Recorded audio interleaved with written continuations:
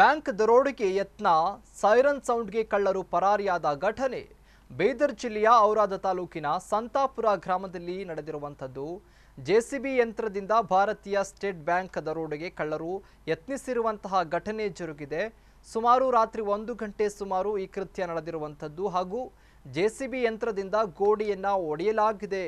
ತದನಂತರ ಕಿಟಕಿಯನ್ನು ಧ್ವಂಸ ಮಾಡುವ ಮೂಲಕ ಕಳ್ಳರು ಒಳನುಗ್ಗಿದ್ದಾರೆ. ಸೈರನ್ ಸೌಂಡ್ಗೆ ಕಳ್ಳರು ಪರಾರಿಯಾಗಿದ್ದಾರೆ. ಈ ಸ್ಥಳಕ್ಕೆ ಪೊಲೀಸ್ ವರಿಷ್ಠಾಧಿಕಾರಿ Nagesh, DL DYSP Devaraj, Santhapura PSI Prabhakar ಭೇಟಿಯನ್ನು ನೀಡಿ ಪರಿಶೀಲನೆ ನಡೆಸಿದ್ದಾರೆ.